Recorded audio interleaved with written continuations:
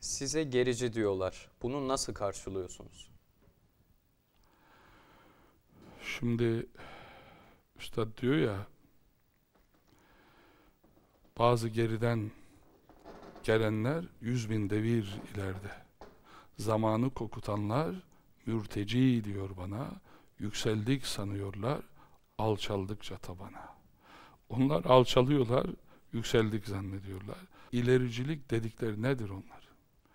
İslam neyi söylediyse zıddına gitmeyi. Hakikat dediyse masala saplanmayı, onlar kendileri adına doğru kabul ederler. Yüz yıllık rotaları budur. Oradan giderler. Şimdi bakın ben gericiyim. Neyi anlatıyorum ben? Kur'an-ı Kerim diyorum, sünnet seniye diyorum. Peki bu noktada bu millet iki cihan devleti çıkarmış. Bir Selçuklu, biri Osmanlı ve bu ümmet bu çizgide 15 asırlık İslam tarihinin 13 aslında cihana hakim olmuş. Bu kitapla yapmış. Peki bu hakimiyet yıllarında nasıl olmuş? Mimaride Sinan'ı çıkarmış. Sanatta Bakisi Fuzulisi var. Siyasette Yavuz'u var, Fatih'i var, Selahaddin'i var askeriyede. Öte tarafta denizde Barbaros'u var, askeriyede Barbaros'u var. Bütün bu alanlara bakıyorsunuz. Matematikte Ali Kuşçusu var, tıpta Birunisi var, fizikte, hendesede baktığınız zaman Cezerisi var.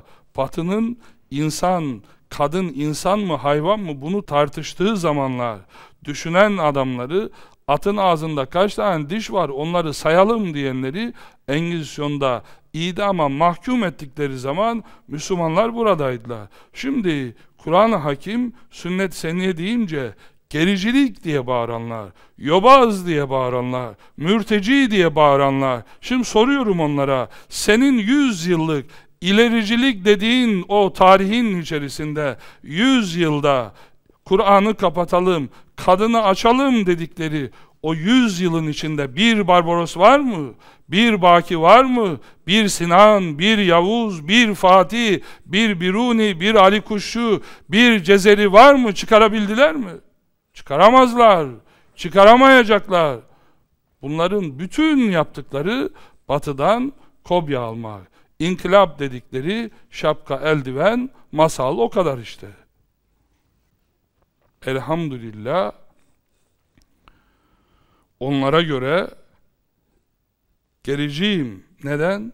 Kur'an-ı Kerim'e dönelim diyorum. Sünnet seniyeye dönelim diyorum.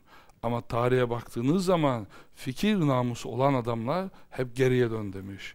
Koçu Bey 4. Murad'a Islahat Risalesi'nde dön Yavuz'un Fatih'in döneminde demiş. Mevlana Resulullah Aleyhisselam'a dönmenin arzu ve iştiyakında. Tolstoy'da bile o var. Yani batının zirvede kabul etmiş olduğu akıllar orada bile Resulullah Aleyhisselam bir soluklama var. Dante'ye baktığın zaman ilahi komedyada batı kültüründe, Hristiyanlık kültüründe araf yok. Nereden almış? İslam'dan almış. Ayaklamış. O bile kapıyı kapattığı zaman Resulullah Aleyhisselam'a şakirt oluyor. Kant'ında, Descartes'ında İmam Gazali rahmetullahi aleyhten araklama var. Sayfalar dolusu almış. Peki bunların dünyasında Gazali var mı? Bilirler mi? Tanırlar mı? Tanımazlar. Bilmezler. Bilemezler de. Gazali'yi tanımak öyle birinci sınıf akla nasip olur. Batıya mahkum olanlara Gazali'yi anlamak, tanımak nasip olmaz, olmayacak da. Elhamdülillah onların anladığı manada geleceğim. Ama bazı geriden gidenler diyor Üstad, yüz bin devir ileride. Atlar kulvarlarında dönerken bazen on devir ileride olur ama ikinci devirde olan atın gerisinde olur. Elhamdülillah.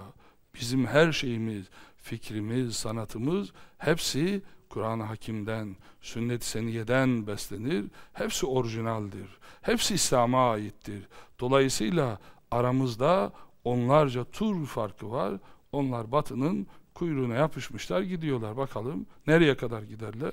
Batının gittiği yere. Sosyalizma çöktü. Bir zamanlar onun arkasına geçmişler, imana, İslam'a, Kur'an'a saldırıyorlardı. Şimdi kapitalizmanın, liberalizmanın arkasına geçmişler, Allah Teala'nın diniyle savaşıyorlar. Mevlana Hazretleri anlattığı bir hikaye var. Deve gidiyor, bir fare bir yerde koparıyor devenin ipini, kesiyor.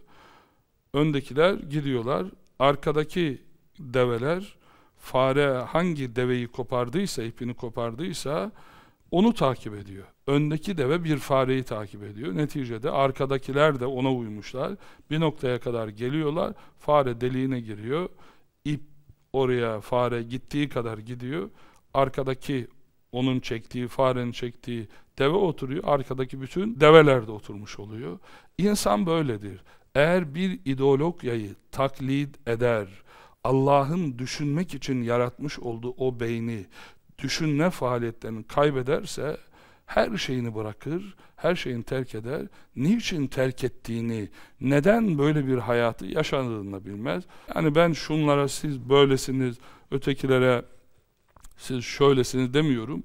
Umum manada fikri taklide mahkum olanlar böyle bir yanılgının içindediler. Ne zaman uyanacaklar? Ölünce uyanacaklar.